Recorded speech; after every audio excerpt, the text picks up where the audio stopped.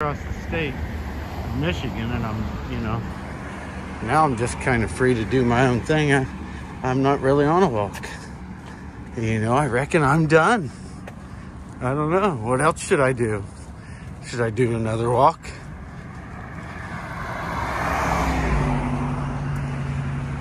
I am kind of tired and would like a break and a little R&R, you know.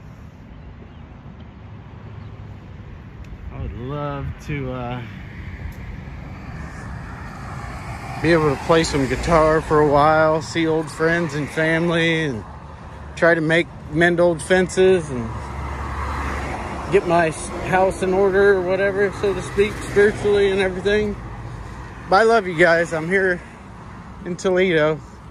I might tell you the next city I arrive at. I might keep it secret. I don't know yet. We'll see.